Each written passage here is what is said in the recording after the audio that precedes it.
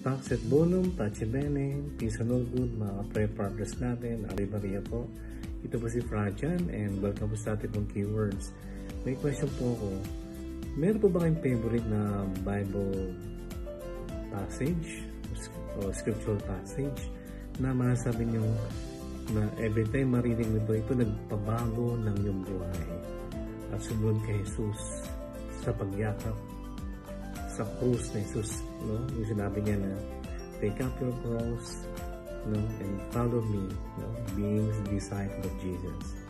Ako meron po, ito yung Gospel of Luke chapter 9 verse 22 to 25. Ito yung favorite ko eh. Ito yung naging dahil kung bakit po ako nag-religious, pare na naging Franciscano. Kasi naging abala ako sa aking buhay sa, sa pag-work ng araw.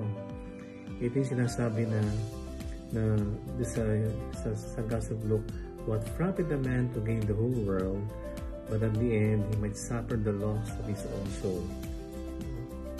Ano mo pala, ano, na makantam mo ang buong daigdig. Pero at the very end, maging kawalan. Luluha ka na. No? Ito po yung aking favorite. Kaya hindi ko malilimutan po yan. Ito po yung nagpabago sa akin.